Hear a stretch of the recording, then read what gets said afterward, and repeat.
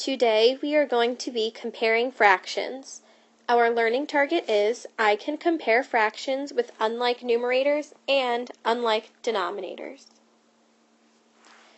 We are going to redraw our fraction models. Why should we spend extra time doing that? Sometimes the pictures will be there for you, but it's very hard to compare two pictures that are side by side. So what I'm going to show you is a method to redraw them so they're on top of each other. When they're on top of each other, it's clear to see which fraction is bigger. We are going to start by comparing 2 fourths and 1 third. We want to start by drawing two equally sized rectangles. We want to do the best job we can to make sure they are the same length. Those look pretty good. The first fraction model I need to break into fourths. I know that 4 is an even number, which means that there is a halfway line right down the middle. So now it's in halves. I need two more pieces, one on either side. With one third, 3 is not an even number, so I can't draw that line down the middle. We know that when we have a fraction model that we want to draw, we need to break it up into equal sized pieces. So I need three pieces, which means I draw two lines. So let's compare. We're going to shade in. So I'm going to shade in 2 fourths, 1 fourth, 2 fourths. And now we only shade in 1 third. We are going to figure out which one is larger by drawing our line down from our larger piece to our smaller piece. Do you see that 2 fourths travels further towards one whole than one third does. It has more shaded in. You can see that one third would need this piece shaded in to be equal to two fourths, but it doesn't have that option. So two fourths is going to be the larger fraction. So two fourths is greater than one third. We can also put not equal to. Let's do another one. We have 5 eighths compared to 2 thirds. We're drawing our two equally sized pieces, 5 eighths for one and 2 thirds for the other. 8 is an even denominator, so I can draw that line down the middle. I have two pieces, I need 8 pieces, so I need 6 more. So I'm going to draw one more on each side, and that gives me fourths, and I cut those in half again, and that will give me my eighths. Thirds, remember, we need to draw our two lines, and now we have our equal pieces. Let's shade in five pieces for five eighths, one eighth, two eighths, three eighths, four eighths, five eighths. And let's shade in two thirds. One third, two thirds. Ooh, this is a close one. Let's see if 5 eighths is bigger. So we're going to take that line, we're going to draw it down. Does 5 eighths travel farther than 2 thirds? You can see that this piece on 2 thirds is larger than our 5 eighths line. So 5 eighths is going to be less than and not equal to 2 thirds.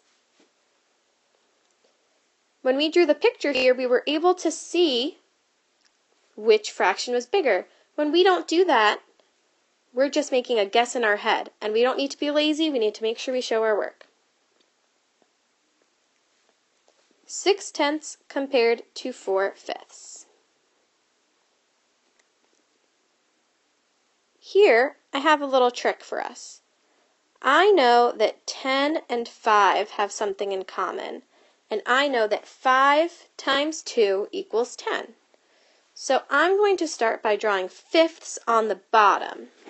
So I need to draw four lines. One, two, three, four.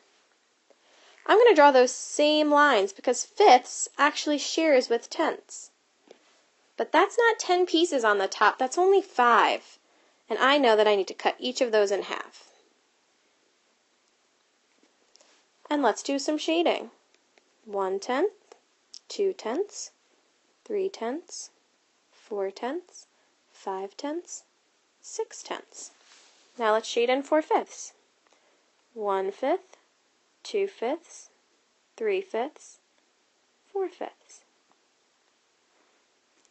I think it's clear which one's larger here. We can see that 4 fifths travels further, has more shaded in than 6 tenths does, which means that 6 tenths is less than and not equal to 4 fifths.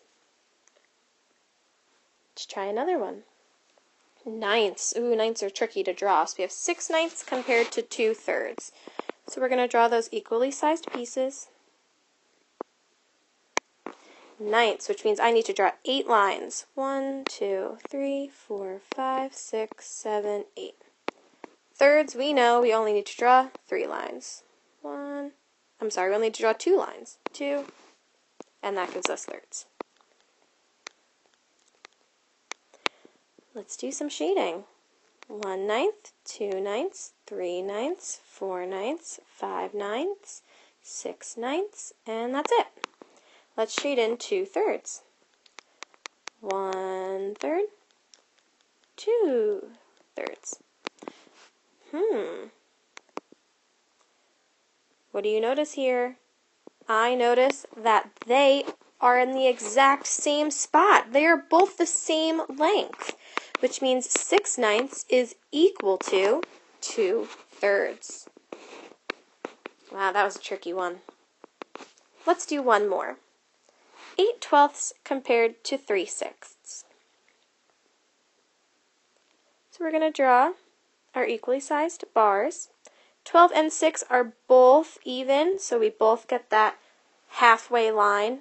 Twelfths, that means I need 6 on this side and 6 on this side. So let's do it.